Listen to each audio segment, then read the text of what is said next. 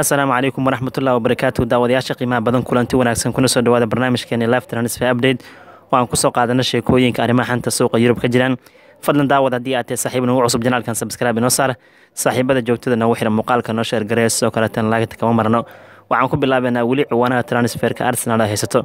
Saacadihii la soo dhaafan waxay si rasmi u soo bandhigeen edi inkete oo contract cusub qalinku duugay wiilkan wuxuu heshiiskiisa gaarsiiyey juun ama shan sano cusub ayuu qalinku duugay inkete wuxuu iska diiday fursad uu ku aadi kara qaar ka mid a kooxaha premier leaga iyo kuwo ka dhisan bundesliga. Jarmalka wuxuuna doortay inuu waayees ciyaare ka sii wato garoonka imaras kadib markii bilooyinka ugu dambeeyay kooxda arsenal si fiican uu caawiyey agaasima edo wiilkan soo bandhigay sidoo kaleetan edo wuxuu sheegay arsenal guulweyn u tayna ceshtaan wiilkooda mustaqbalka fiican leh. Sidoo kaleetan horumarka ballaaran sameynayo sheekada intaas kuma ekee inkete wuxuu bedashay nambarka.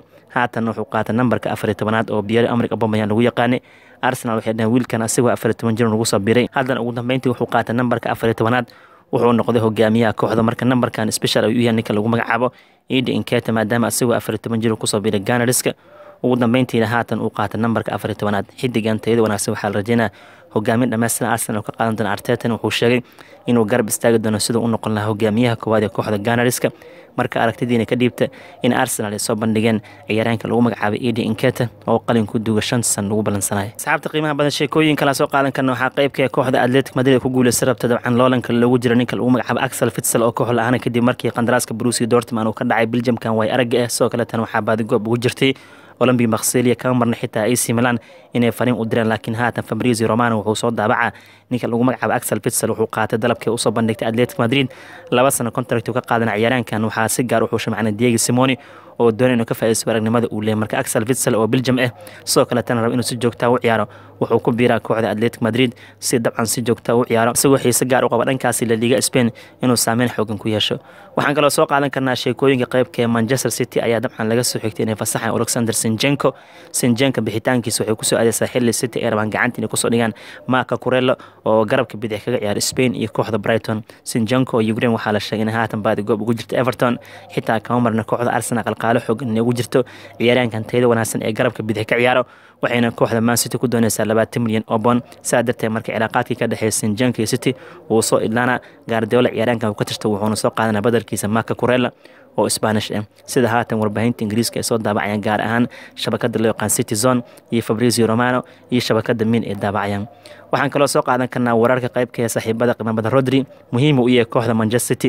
Weliba gaardiola wuxuu sheegay ninkan contract cusub waa in laga saxiixaa ayadoo haatan city baadi goob ugu jira xagaagan gacantina ku soo dhigan calvin philips haddana qorshaha manchester city wuxuu yahay suuqa markuu soo idlaado dhammaadka sanadkan rodri inay la fariistaan mushaarka loo kordhiyo. Sidoo kaleetan ciyaaryaankan heshiis waqtigiis dherya laga saxiixo. Laacabkii hore kooxda atletic madrid xilli caraad qurux badan soo qaatay weliba dhowaan wuxuu noqday lafdhabarka khadka dhexe kooxda manchester city. Kubad caawintiisa difaacashadiisa wuxuu ku darsaday iyo sidoo kale baaska. Dhalin ayuu keenay xilli caraadkii dhowaan soo idlaada marka gaardiola oo la dhacsan horumarka ballaaran rodri uu sameynayo wuxuu doonaya ciyaaryaanka moralka inuu u dhiso oo contract cusub la siiyo dhammaadka sanadkan laakiin qorshaha city ku aadan calvin philips soo qaadashadiisa manaw isma bedelaya maadaama city u baahantay bedelka fernandino waxaan kaloo soo qaadan karnaa sheekooyinka qaybka ee westham united oo daafac dhex u baahan. Waxay markaan gacanta ku soo dhigeen ciyaaryahanka marookaanka ee lagu magacaabo nayaaf agrad oo ka tirsan kooxda rinis kaasoo ay ku soo qaateen soddon milyan oo bond keliya waxaa dhiman dabcan in la soo bandhigo xidigan teed wanaagsan shalato ka gudba tijaabo caafimaad sida fabrizio romano uu soo daabacayo. Shan sano contracti qalin ku duugay ninka lagu magacaabo nayaaf agrad kaas oo dabcan faranji ligwan ka dhex muuqday. Waa lix labaatan jir marookaan sidoo kaletana kooxdiisa rinis u ciyaaray in ka badan lixdan iyo lix kulan markii la joogo kulamada faranji ligwan saa darteed marka laacibkan xulka maroko u saftay kulan daafaca dhexe ka ciyaaro. Hadda wuxuu ku biiray kooxda westham united oo keliya waxaa dhiman naif in la soo bandhigo. Dhinaca kale qodobada kale transferka la hadalaya waxaa qaybka oo soo qaadan karnaa ninkii sadio mane ah waxaa lagu wadaa jarmalka inuu gaaro maalin talaadada ah hadda wuxuu jooga gudaha senegal xoogaa fasaxu ku jira.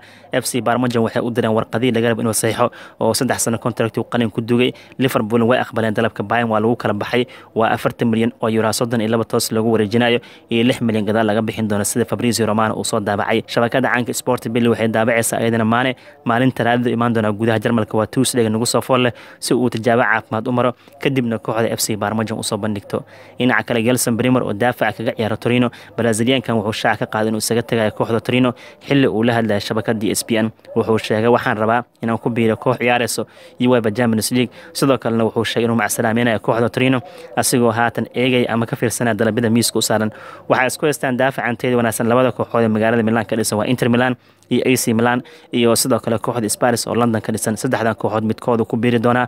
Sidoo kale rabitaankiisa ku aadan uweba champions league ciyaaristan wuu ka heli karaa maadaama saddexdan kooxood qayb ay ka yihiin naadiyada xilli caraag ka dambe uweba champions league group stagekiisa ka qayb qaadan doonaan. Ciyaaraankan kooxda torino waxay ku dooneysaa ku dhawaad soddon milyan oo yura sheekooyin kale transferkan soo qaadan karna waxaa qaybkee mario gotsi kubadsameyan waxaa lagu xasuustaa waa ninkii dabcan xulka jarmalka u qaaday koobkii adduunka lugtiisa uu qaaday. Sidoo kaletana bruce dortman f c barmonjan waqti fiican la qaatay. Hadda wuxuu ka tirsan yahay kooxda lagu magacaaba b s v indoven laakiin wuxuu qaatay go'aan ku aadane inuu isaga tagay kooxda holandeeska waxaana qandaraaskiisa lagu jibin karaa afar milyan oo yura maadaama kontraktigiisa labaiyo toban bilood kaliya ka harsan tahay. Mario gots waxaa isku haystaan kooxa ay ka mid yihiin entrek frankfort benfica iyo sidoo kale kooxda lagu magacaaba inter miami. Laakiin haatan shabakada kiikar waxay daabacaysaa in kooxda frankfort ay ku guulaysa rabta qaadashada mario gotsi ciyaaraankan waxay ka dhigantay haddii ay frankfort qaadato dib wuxuu ugu soo laaban doonaa bundesliga jarmalka. Saaxiibada qiimaha badan maantadii hore seeska fabrigas wuxuu macsalaameeyey kooxda es monaco soddon jirkan tayada wanaagsan uu isaga tegay naadiga monaco asigoo dabcan la joogo saddex sano iyo bar. Ciyaaraankan tayada wanaagsan kooxda monaco waxay u rajeen nasiib wacan. Qandaraaskiisana wuxuu ku egay soddonka bishan juun. Ninkan dhaawacyo kala duwanaa soo gaareen. Weliba xilli ciraadkii dhawaan soo ilaaday lix kulan keliyu dabcan ciyaaray. Inta badan dhaawacyo ku maqnaa. Saa darteed marka monaco iyo fabrigas way kala tageen balse fabrigas shabakada caanka marka la xiriirta waxaa la weydiiyey inuu kubadda cagta isaga fadhiisanayo fabrigas wuxuu sheegay kubadda cagta inuusan ka fadhiisanin oo uu dabcan eegi doono dalabyada haatan miiska u saaran. Ninkan lagu xasuusta xulka spain guulaha uu la gaaray oo laba euro iyo cup la qaaday. Sidoo kaleeta chelsea arsenal waqti fiican ku qaatay iyo barcelona. Hadda wuxuu leeyahay saaxiibada qiimo badan ciyaaraha kama fadhiisan doona monaco wuxuu u ciyaaray lixdan sideed kulan afar goolo shabaqa gaarsiiyey sagaal caawinna wuu sameeyey dhaawacyo kala duwanna way soo gaareen. Waxaa macquul inuu ku soo laabta gudaha dabcan spain.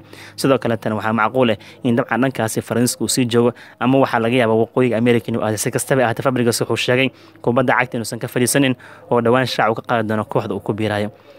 dhinaca kale daawadayaasha qiimaha badan qaalidu kolibal oo kooxaha yuventus iyo sidoo kale markii la eego dabcan barcelona qarqaaro xoogan ugu jiraan. Waxaa ka hadla arrinkiisa macalinka lagu magacaabo lujan spaleti oo kooxda napoli hogaamiyo.